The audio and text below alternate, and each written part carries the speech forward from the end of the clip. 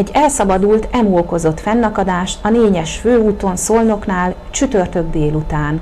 Egyik nézőnk számolt be arról, hogy a főváros irányából érkezett a négyes számú főúton, az Abony út irányába hajtott le, amikor a felüljáron a négyes út fölött szembe találkozott egy elszabadult emuval. A úgynevezett elkerülő útról, amikor ráfordultam a régi négyesnek nevezett útra, a felüljárón megállt mellettem egy teherautó, egy kamion, lassítottam én is, és elém kiugrott egy hatalmas nagy uh, emu, mint később kiderült. Hirtelen nem tudtam, hogy most emu vagy struc, nem biológus vagyok, ugye, de egy emu kijött, és ö, ott futkosott keresztbe az úton, jobbra-balra, lassított, megfordult, Hát nagyon meglepődtem. Szerintem az EMU is körülbelül annyira, mint én.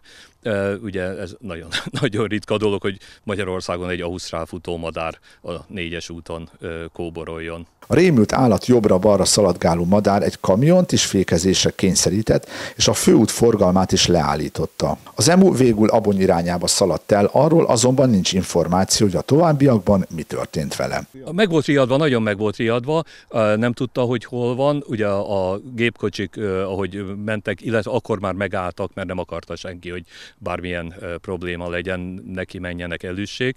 Meg volt riadva, egy idő után megfordult, és Abony irányába elfutott, eltávozott. A futómadár nem ritka látvány az Alföldön, hiszen számos helyen házőrzőként, illetve kedvtelésből is tartják. Szolnok környékén pedig több gazdálkodás és tenyésztés is foglalkozik, így feltehetően innen szabadulhatott el. Abony határában ennek a nőnek a véleménye szerint nincs emu. Itt a négyesen nem volt semmi. Emu szaladgál. Itt nem. De itt volt, itt vették fel. Igen, hát Igen. nem tudok róla. Itt tart valaki? A Itt senki. Itt senki. Ez a másik férfi viszont féli honnan szökhetett el az állat. Abonyban van a ö, ö, törteli, vagy nem tudom milyen úton, ott a téglagyárnál, ami van, ott van egy ház, bár nem tudom pontosan az utca nevét, ott van egy ilyen tenyésztő, vagy foglalkozik vele, és nem tudom, hogy őtől lement el. Az emukat az európai telepesek étkezési célra vadázták. Számos módszer volt az emuk elejtésére.